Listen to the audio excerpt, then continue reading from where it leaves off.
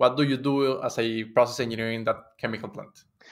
Okay, so I, I think that the process engineering area is the more is like technical area, a more chemical engineering related area in the industry, because you really have to sum up all your knowledge about unit operations and transport phenomenon and you know thermodynamics energy and mass balances uh, engineering economics you have to mix everything up in order to understand firstly understand the whole process because you you're going be, to be the one that will train operators you're going to be the one who writes the procedure the operation operation procedures.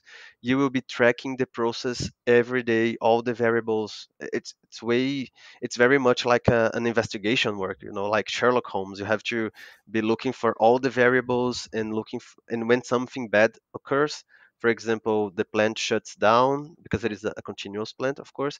Uh, when the plant shuts down, or when you, a equipment breaks, or when the, your quality is not good and you produce off spec uh, or residues, you have to investigate, look at all the data, all the variables, and figure out what happened, uh, what is the root cause, and how you can give a solution, a technical solution or a, an operational solution in order to avoid that problem from happening again.